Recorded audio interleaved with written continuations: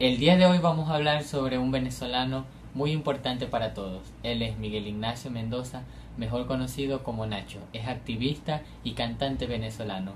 Nació el 22 de agosto en la ciudad de Lechería y posteriormente fue criado en la ciudad de Maracaibo. Sus inicios fueron en el grupo musical Calle Siga y después formó un dúo junto a Chino Miranda, el cual se llamaba Chino y Nacho. Con canciones como Niño También está Mi Angelito y Andas en mi cabeza. El grupo Chino y Nacho se separa en el año 2017. No se tiene confirmado por qué fue, pero se presume que fueron debido a conflictos que tenían la, el dúo.